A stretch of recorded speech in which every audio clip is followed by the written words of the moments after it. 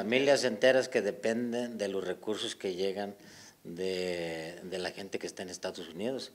Pero aquí sí es importante que cada ayuntamiento analice eh, no solamente el presupuesto de egresos, sino cuáles pueden ser las alternativas que le generen oportunidad de incorporar a la gente que llegue eh, y a esas familias que van a depender de nuevas estrategias y nuevas alternativas.